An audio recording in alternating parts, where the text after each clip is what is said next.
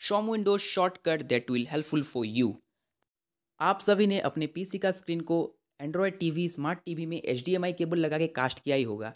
पर आप अपने पीसी को किसी भी स्मार्ट टीवी में वायरलेसली कास्ट कर सकते हो। आपको विंडोज़ और के की को एक साथ प्रेस करके रखना है। आपका कास्ट का स्क्रीन खुल जाए। वहाँ पे आपको अपने टीवी का डिस्प्ले ड्राइवर दिख रहा होगा। इसके लिए आपका टीवी को और अपने कंप्यूटर को वाईफाई के साथ कनेक्ट करके रखना है।